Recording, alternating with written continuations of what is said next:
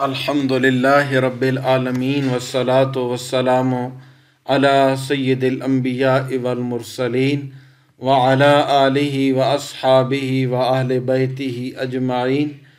تمام بھائیوں، بہنوں اور بیٹیوں کو اسلامک فقہ یوٹیوب میں خوش آمدید کہتے ہیں۔ اللہ تبارک و تعالی آپ لوگوں کو دین اور دنیا کی بھلائیوں سے عزتوں سے، شان و شوکت اور رفعتوں سے مالا مال فرما دے۔ اللہ تعالیٰ نبی پاک صلی اللہ علیہ وآلہ وسلم کی عزت و ناموز کا صدقہ پورے عالم اسلام کے اوپر بھی اپنا خصوصی رحم اور کرم کا نزول فرمائے۔ میرے بھائیوں بہنوں اور بیٹیوں، بزرگوں، نوجوان ساتھیوں، ماہ ربیع الثانی کی گیارہ تاریخ کا بن رہی ہے۔ گیارہویں شریف کب بن رہی ہے؟ یہ جو پیر کا دن آ رہا ہے، اس پیر کو انشاءاللہ اللہ تبارک و تعالی گیارہویں شریف پاکستان کے اندر بن رہی ہے۔ اگر باقی ممالک کے اندر بھی یہی اسلامی تاریخ ہو، تو وہ ان کی بھی اسی دن ہی بنے گی اور اس دن انگریزی تاریخ جو ہے وہ سات تاریخ بن رہی ہے۔ یعنی کہ سات نومبر کو انشاءاللہ اللہ تبارک و تعالی یہ گیارہویں شریف ہوگی۔ گیارہویں شریف کے حوالے سے جو عمل آپ کے لیے لے کر حاضر ہیں، انشاءاللہ اللہ سال بھر آفتوں سے آپ محفوظ رہیں گے۔ آپ کے گھر کی تمام پریشانیوں کا خاتمہ ہوگا۔ یوں سمجھے کہ یہ بڑی گیارہویں کا بڑا وظیفہ ہے۔ اور یہاں ایک میں ربیع الآخر کی گیارہویں شریف کے حوالے سے حکیم الامت مفتی احمد یار خان نعیمی علیہ رحمۃ اللہ۔ آپ فرماتے ہیں کہ اس مہینے میں ہر مسلمان اپنے گھر میں حضور غوث پاک سرکار بغداد رضی اللہ تعالیٰ عنہ کی فاتحہ کرے۔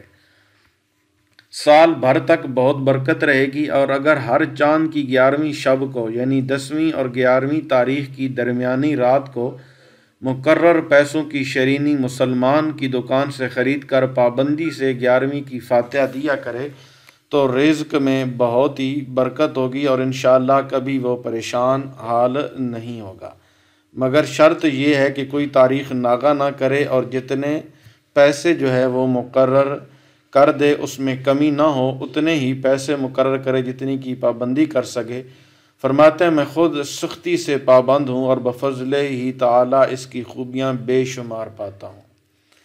تو میں امید واسق رکھتا ہوں کہ اللہ تبارک و تعالی ہم مسلمانوں پہ اپنا خصوصی رحم اور کرم کا نزول فرمائے اور ہمیں اللہ تعالیٰ اولیاء کی سچی محبت اور ان کی زندگیاں جس طرح انہوں نے گزاری ہیں، اللہ تعالیٰ کی حکم کی تابے داری میں مصطفیٰ کریم کی سنت کے مطابق اللہ تعالیٰ ہمیں بھی اسی طرح زندگیاں گزارنے کی بھی توفیق عطا فرمائے۔ تو انشاءاللہ اللہ تبارک و تعالیٰ یہ عمل جو ہے، آپ ربیع الثانی کی جو گیارہویں تاریخ ہے یعنی سوموار والے دن اس عمل کو کر سکتے ہیں۔ منگل مغرب شروع ہوتے ہی آپ اس عمل کو شروع کریں اور سوموار سوری، اتوار کی شب کو شروع کریں اور سوموار کی رات گئے تک آپ اس عمل کو جاری رکھ سکتے ہیں۔ ٹھیک ہے، اسے ان، اس وقت کے اندر، ان اوقات کے اندر آپ یہ عمل کر سکتے ہیں۔ انشاءاللہ اللہ تبارک و تعالیٰ آپ یہ کہنے پہ مجبور ہو جائیں گے کہ ہاں ہم نے عمل کیا تھا۔ اللہ کے فضل و کرم سے اللہ تعالیٰ نے ہمیں اس کی بڑی جو ہے برکتیں عطا فرمائی ہیں۔ اللہ کریم نے بڑا ہی ہم پہ رحم اور کرم فرمایا۔ اور حضور غوث پاک کیا فرماتے ہیں؟ مریدی، لا تخف۔ اے میرے مرید، اے میرے چاہنے والے، غم نہ کھر۔ غم نہ کھا، کیونکہ عبد القادر کا رب بہت بڑا رب ہے۔ اور یہ حضور غوث اعظم رحمۃ اللہ تعالیٰ علیہ کی نظر عنایت ہے اپنے چاہنے والوں پر، اپنے پیاروں پر، اپنے مریدوں پر، اپنے ماننے والوں پر۔ تو انشاءاللہ اللہ تعالیٰ میری بہنیں جو بے اولاد ہیں، اللہ تعالیٰ انہیں اولاد کی نعمت سے مالا مال فرمائیں گے۔ جو بھائی بے روزگار ہیں، اللہ تعالیٰ انہیں روزگار عطا فرمائیں گے۔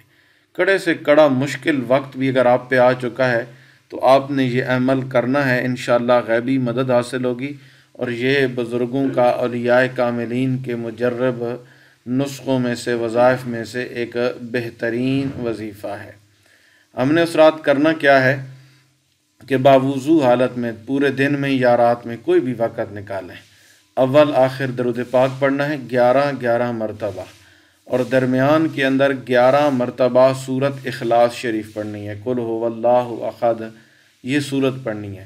اور گیارہ بار کلمہ طیبہ پڑھنا ہے۔ لا الہ الا اللہ محمد الرسول اللہ۔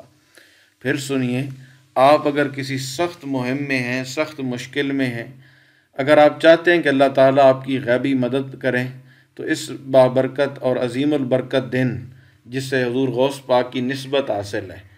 کیونکہ اس دن آپ اللہ کریم سے آپ کی ملاقات ہوئی، آپ اس دنیا سے پردہ کر گئے اور اللہ کریم کے فضل و کرم سے آپ کے ماننے والے آج بھی آپ کا ذکر کرتے ہیں، آپ کی اوصاف کو، آپ کے کمالات کو، آپ کی شانوں کو پڑھتے ہیں اور آپ کے نام کی فاتحہ وغیرہ دیتے ہیں۔ تو آپ نے اول آخر باوضو حالت میں گیارہ گیارہ مرتبہ درود ابراہیمی پڑھنا یعنی جو ہم نماز میں درود شریف پڑھتے ہیں اللہ صلی علی محمد والا یہ والا درود شریف پڑھنا ہے۔ اور درمیان کے اندر ہم نے گیارہ مرتبہ ہی کلمہ طیبہ، لا الہ الا اللہ محمد الرسول اللہ، یہ والا کلمہ ہم نے گیارہ مرتبہ پڑھنا ہے۔ انشاءاللہ تبارک و تعالی اللہ کریم نبی پاک صلی اللہ علیہ وسلم کا صدقہ ہماری دعاؤں کو قبول فرمائیں گے اور اللہ تعالی ہمیں دین اور دنیا کی بھلائیوں سے، عزتوں سے مالا مال فرمائیں گے۔ اگر آپ اس عمل کو کر پاتے ہیں تو انشاءاللہ یہ عمل آپ کے لیے بہت ہی مجرب رہے گا۔ آپ یقین جانیے کہ آپ کی قسمت بدل جائے گی۔ اللہ کے فضل و کرم سے آپ کو دین اور دنیا کی عزتیں، بھلائیاں اور عظمتیں اللہ کریم نصیب فرمائیں گے۔ یہ عمل ربیع الثانی کے اس بابرکت مہینے کا بہت ہی مقبول عمل ہے، بہت ہی مجرب عمل ہے۔ آپ اگر کسی یاد رکھیں رزق کا مالک کون ہے؟ اللہ ہی ہے۔ رزق کس کے پاس ہے؟ اللہ کے پاس ہے۔ لیکن جب ہم اللہ کے حضور، اس کے پیاروں کا واسطہ دیتے ہیں، تو پھر وہ کرم فرما دیتا ہے۔ اپنے نیک بندوں کا صدقہ ہماری مشکلات آسان فرما دیتا ہے۔ اور ہمیں جو ہے اللہ کے فضل و کرم سے، اللہ کا فضل بھی ملتا ہے۔ اللہ تعالیٰ کے فضل و کرم سے اس کی جو کیا نام ہے، رحمتیں ہیں انسان کو، وہ بھی نصیب ہوتی ہیں۔ اللہ تعالیٰ دونوں جہانوں میں میرا، آپ کا، ہم سب کا، ہم ناصر ہو۔ اگر ویڈیو آپ کی اچھی لگی ہو تو ضرور ہمارے اس چینل کو بھی سبسکرائب کر لیں۔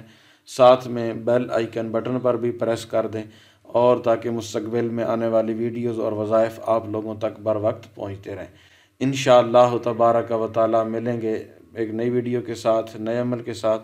اللہ حافظ السلام علیکم ورحمۃ اللہ وبرکاتہ۔